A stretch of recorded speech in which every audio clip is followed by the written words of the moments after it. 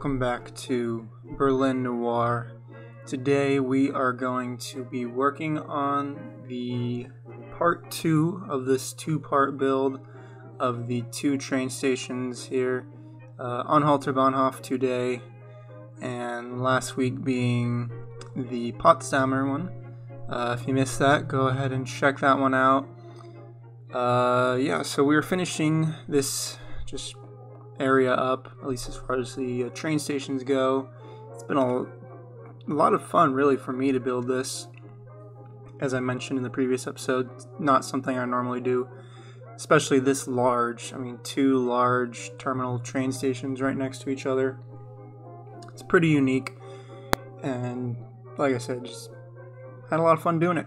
And so, yeah, I hope you enjoy the build, and if you do, I would appreciate a thumbs up uh, lets me know you guys are enjoying this as much as I am. And if you're new, go ahead and drop us a uh, subscribe. And yeah, let's get into it.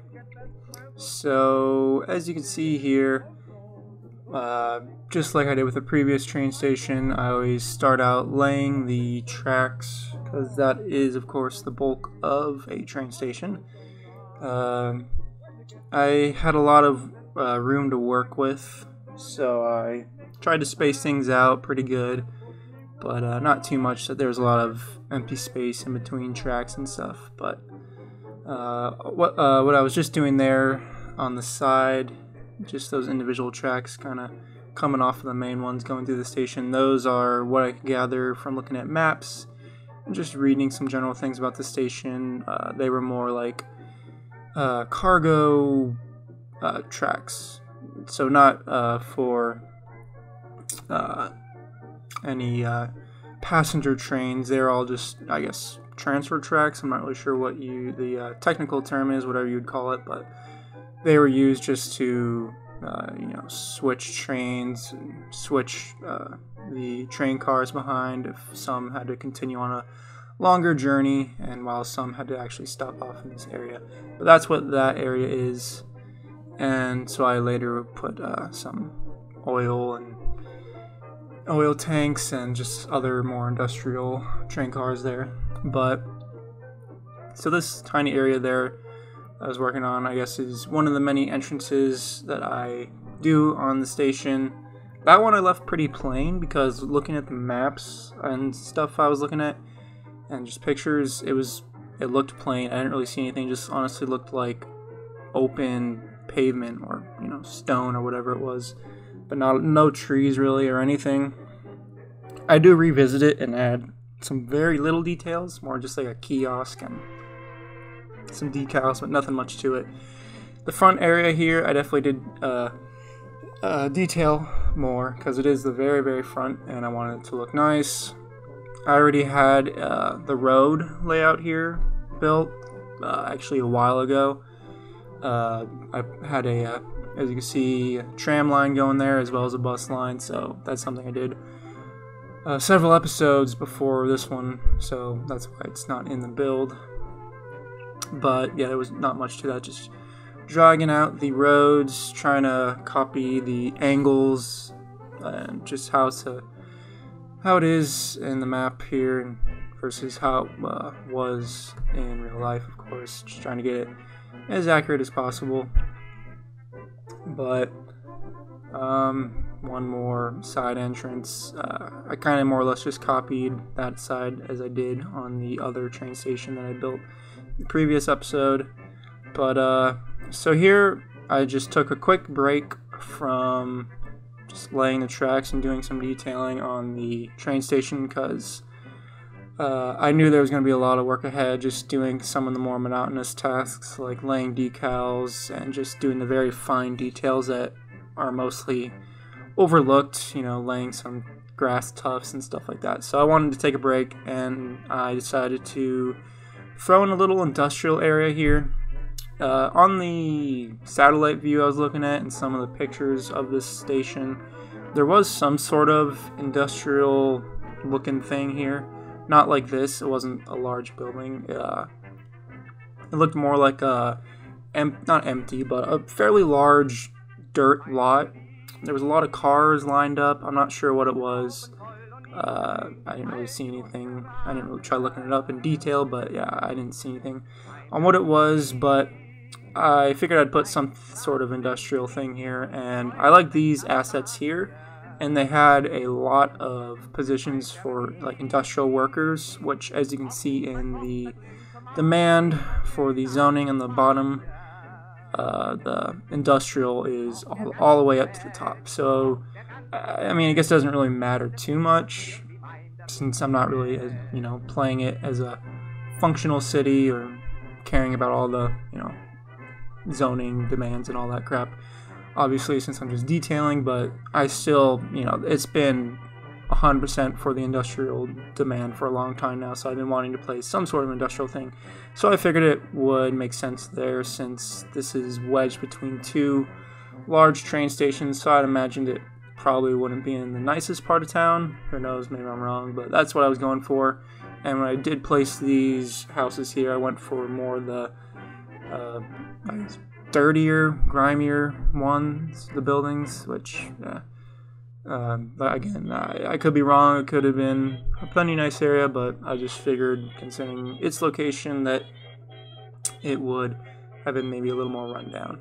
So I was going for that look here, and I think it turned out alright, and it looks fine. And, uh, yeah, just more or less bouncing around doing multiple things because uh, I do go back to that industrial spot there and add some props and stuff. So it's not just an empty lot but that's just more or less how I build in this game is jumping around a lot. Uh, for my own sanity more uh, I know compared to some YouTubers who stick to something and build it straight on you know and finish it off you know that probably makes better viewing for the audience but uh, like I said it's for my own sanity. I have to change things up, bounce around between things. As you can see, going back to this industrial spot, adding some decals, but then also some crates and stuff in a second. Uh, I didn't really know what else to put here. I don't have a ton of props for like industrial looking things that aren't super modern. Uh, there's not that much on the workshop. Uh, there's these awesome crates here, which uh, I even used in my modern Las Colinas, California themed city. Uh, I mean, they definitely fit this time period, but they're more or less can be used anywhere, I suppose. But yeah, just throwing a bunch of random props down again. No really rhyme or reason to what I am doing here, just trying to fill up space with some stuff. Uh, let's see, I mean, I'm pretty sure there's a little maple leaf on the box. Yeah. Uh, I'm not sure if this is supposed to be some sort of Canadian asset or what, or it's just coincidental, who knows. But uh, I don't know, let's just say it's some delicious maple syrup there. Why not? But, uh, anyways, I guess, uh, I guess regarding the stories and backstories and history that I mentioned in the previous episode, uh, got a lot more of you who are interested. A couple of you left me some ideas uh, some stories or you know history about the builds and cities. So I'll be working on you know putting some stuff together, making. I'll probably just do a short cinematic video, uh, less than ten minutes. Uh, that's what I'm thinking as of now. I could change.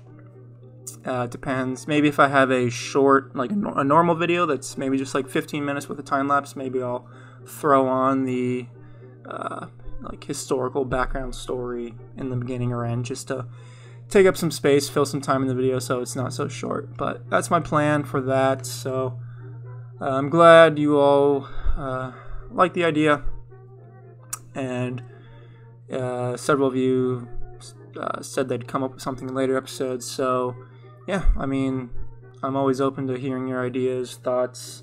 Uh, someone said in the previous episode I built a little small looking industrial thing next to the other train station and said that was some sort of brewery. Uh, so I guess that's something we can do there. Come up with a backstory for that brewery in the uh, next to the Potsdamer station that I built in the previous episode. So yeah, that's something you guys can give me some ideas on, and I can uh, make a video on that with your story.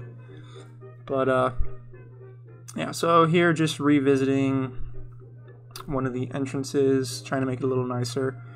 Uh, just did some flower beds. Thought it looked uh, all right. Uh, like I said, though, this side of the station was very plain from what I was looking at. So it just felt weird leaving it blank like that, not putting anything there. So I wanted to do some light detailing, such as what I did just then, and just adding some kiosks and the advertisement columns, which uh, I love all the all the details of the advertising column assets because there's a lot of them on the workshop, and whoever I, I, I, think it's multiple creators that are making them, but uh, they they put a lot of time in there. You can see uh, if you actually zoom in and look at the advertisements that are on there, and they're very detailed, very cool. So I appreciate that level of detail, even though pretty much goes unnoticed by anyone watching the video because I don't actually zoom in on it. Maybe I can do so in a cinematic in the future, but they're cool nonetheless. But uh, there I just used some PO to sync a decal or change a decal into procedural objects, which allows you to more or less turn it into a ploppable surface rather than a decal. So that's nice. Because what's what uh, really confuses me about this game is you can have so I have a ton of different stone and tile decals, and for whatever reason, uh, you know, using Move It, you can raise and lower those decals to, you know, make them darker or lighter depending on what you want, which I do all the time. But what I wanted to do was, you know, either raise a decal so it only shows up on the pavement area and not the road, or the other way around, lower it so it's only on the road and not on the pavement but for whatever reason, that only works with uh, very few decals, and most of them are vanilla. So there's something about the vanilla decals that allow you to do what I was just saying there. You can raise it up so it no, no it doesn't show on the road, but just on the pavement, versus the uh, other decals that are from the Steam Workshop that I I mean they're nicer, the better, they're more de- detailed and more options, but. Uh, for whatever reason, I just when I try and do that, it doesn't work, which is kind of annoying. But I have no idea why that is the case. Maybe I'm doing something wrong. Uh, who knows? I, I tried a couple things, but for whatever reason, it would just when I'd raise it, it would start to fade from both the road and the pavement. So, yeah, unfortunately, because I would like to use the decals to change up the textures of the pavements so it's not just that I mean from a distance it just looks like a standard pavement from like a modern city you know it doesn't really you can't really tell that it's stone unless I zoom in very closely like maybe there you can tell but yeah from a distance it just looks like a standard pavement which I would love to change up but again I haven't really found a way to use decals, with a few exceptions, as I said, to raise them and only have them on the pave or on the uh, curb area and not the road. Which I mean, I could always just, you know, if it's uh, like a if it's a easy shape, I can just lay them so they only they meet up right to the road. But if it's like an awkward shape, then it's impossible to lay the decals down without them hanging over onto the road. So, yeah, I mean, I don't know if any of you know a solution to that, let me know, but I feel like there's nothing that can be done about that, unfortunately. But, I mean, it is what it is. There's other ways to do it, work around. Probably use PO like I did there a second ago to, you know, change it into a ploppable surface and raise and lower it from that point. But here I am just uh, laying down some of the industrial looking uh, train cars, although I also just put a passenger train there as well, just for the heck of it. No reason really. But uh, it was around this point in making the uh, build here that I stopped looking at the pictures and the satellite view from the uh, 1928, the uh, website I've mentioned before. Uh, yeah, it was around this time that I just kind of went with my own instinct, which was nice because looking at pictures and the overhead view is nice, of course, because I can see for the most part exactly as how things were. But it's fun to just get in a groove and get in that mode where you can just build, build, build, and build some more. And you know, next thing you know, two hours is gone, and you know, you know what the heck happened. But you know, you just get tunnel vision on what you what you want. You can envision it, and yeah, so that's always a good uh, you know good thing when I can get in that mode. So yeah, that's about what happened here. So I just showing some detailing, and pretty much for the rest of the video, video that's that's how it went. But uh, so this cool little thing here I did is I'm not really sure. I mean, it's just I guess not really uh, some sort of crossing bridge for I'm guessing rail yard workers, just so they can cross over uh, to different parts of the rail yard. But uh, just use PO to make these props. Uh, what were they? They're for some sort of icing. I forget the name of the asset. Ice. I think it's a. Uh, it goes with some building too. some sort of uh, like icing plant that makes ice and transport ice. I don't know, but uh, yeah. So that's what this is here. But it worked well as just some sort of bridge because there actually was one here so with uh, I believe a sign on the front, I'm assuming for the station name, and it looked cool. So I figured I'd, you know, I just happened to stumble across this asset. I totally forgot about it. And I was like, oh, perfect. This will work exactly as, you know, I want it and as it seems to be in the pictures. So, yeah, just using PO to make some more space on there so the train can go through.